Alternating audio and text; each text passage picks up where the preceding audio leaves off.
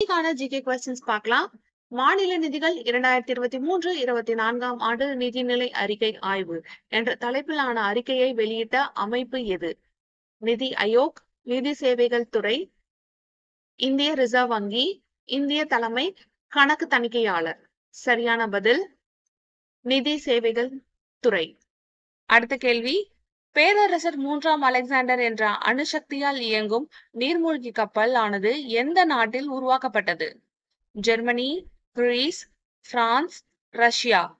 பேரரசர் மூன்றாம் அலெக்சாண்டர் என்ற அணுசக்தியால் இயங்கும் நீர்மூழ்கி கப்பல் ஆனது எந்த நாட்டினால் உருவாக்கப்பட்டது?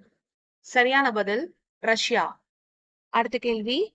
இரண்டாயிரத்தி பத்து முதல் இரண்டாயிரத்தி இருபத்தி ஒன்று ஆகிய ஆண்டுகளில் சாலை போக்குவரத்தினால் ஏற்பட்ட உயிரிழப்புகளில் மொத்த எண்ணிக்கையில் அதிகரிப்பினை பதிவு செய்துள்ள நாடு எது? சீனா இந்தியா எகிப்து தென்னாப்பிரிக்கா. சரியான பதில் இந்தியா. கடைசி கேள்வி. இந்தியாவின் அதிவேக சூரிய சக்தியில் இயங்கக்கூடிய மின்சார படகு எங்கு அறிமுகப்படுத்தப்பட்டுள்ளது? Option A Alappuzha. Option B Calcutta. Option C Goa. Option D Muttukadu. சரியான பதில் ஆப்ஷன் ஏ ஆலப்புழா